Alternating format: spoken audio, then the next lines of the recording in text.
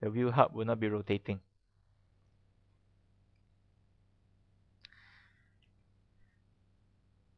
The next part I would like to insert will be the upper sway links. So we need two of them. So we go to insert component, look for the upper sway link, and place one part over here in the in the graphical interface. Now, there is another method of inserting parts. Other than going to insert components, what we can do is from the feature manager, select the parts that you want to duplicate, hold on to the control key on the keyboard and drag this part into your graphical user interface. So there you go. It is so easy when you are designing in SolidWorks. Okay, so let's rotate this part around to somewhere here. Okay, I would like these two holes to be concentric. I would like this flat face to be flush with this face. There you go. Okay, and let's repeat the process on the other side. We take the other upper sway link, rotate it a little bit. Make sure the two holes are concentric. And I would like this planar face here to be in line with this planar face here. Okay, there you go. So let's move this part a little bit. Okay, once again, if you like to reposition some of the parts and there are too many uh, moving parts in the assembly, you can always fix one of them. So in this case, I'm going to fix the oleo strut cylinder. Okay, just drag the upper sway link and make it taper downwards a little bit. Okay, once you're happy with it, okay, we right click and go to float. Now, the next thing that we want to insert will be the lower sway links. So we need two of them as well we go to insert component and look for the lower sway link. So I'm going to place one here and I'm going to duplicate another one at the bottom. So yeah, let's rotate this part around. Okay. So well, let's fix the oleo strut cylinder.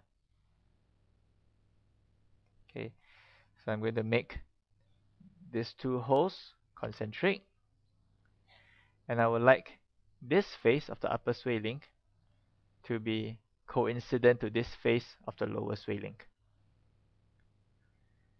Okay, thereafter I would like this face of the lower swing link to be concentric to this hole of the wheel hub. Okay, and let's repeat this process on, on the other lower sway link. So we'll move this part over here, rotate it around.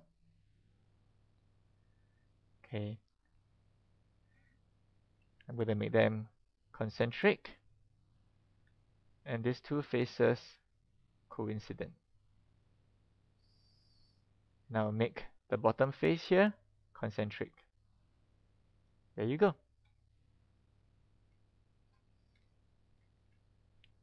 Of course, with the oleo strut cylinder um, that is fixed, we can move the wheel hub just to position it nicely.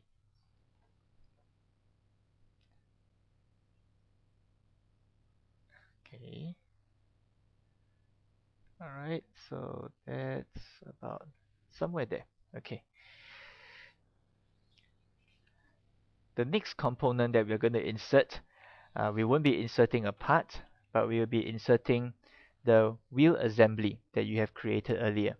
So in the assembly environment, not only can you insert parts, you can insert assemblies as well. So what we need to do is, let's look for the assembly under insert components. Okay, let's browse for, browse for the assembly file. So there you go, we have the wheel assembly here. Okay, let's put the wheel assembly right about there. Okay, so all we need to do is just rotate the wheel around. The first mate that I'm going to insert will be a concentric mate. So I click on the mates folder, select this hole and this cylindrical shaft of the wheel. Now once I've done that, you'll notice that this wheel is constrained along the axis of this hole. Okay. So now what are the mates that I can use to position the wheel hub right in the middle of um, this wheel assembly? Under the mates uh, command there is this very useful mate called the width mate. So what the width mate does is it takes the tabs and the width selections and position this tab right in the middle of the width so let's see how we use this command. Okay so we go to mate under advanced mates width mates. Under the width selections I would like to select the width okay which is the two faces as seen on screen of the wheel assembly. And for the tab selections we would like to select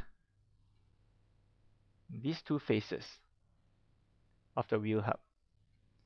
Once you hit OK you should notice that the wheel hub is automatically positioned right in between the wheel assembly faces that you have selected. So once you're happy with this just hit OK. Okay we are almost done.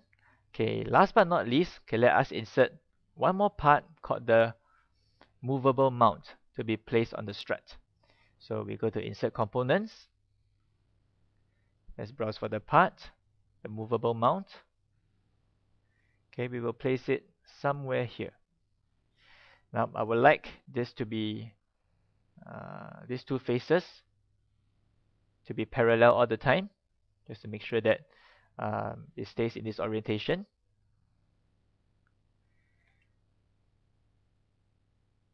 and also I would like the front plane of the movable mount to be in line with the front plane uh, the front the front plane of the assembly. Okay now next what we need to do is just create a uh, concentric mate between these two holes okay. Now that I'm almost done okay let me just float this uh, oleo strut cylinder which I've fixed earlier. So just right click on it go to float.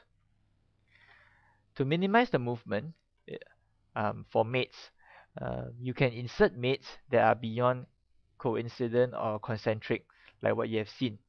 You're able to add um, distance between two faces or even an angle between two faces all you need to do is to select the faces between them. So let's take for example if I like an angle between this face of the lower sway link and this face of the upper sway link. By default SolidWorks will create a coincident mate for them. Now but this is not what we want. We would like them to have an angle between them. So all we need to do is activate this angle button you see on the standard mates folder and key in an angle so for this case I would like a 120 angle between them. So hit OK. There you go. So now this is our landing gear assembly. And if you notice if you model it correctly as you move the different parts you should see the landing gear will uh, move accordingly. Okay. This is the end of our tutorial thank you for viewing this video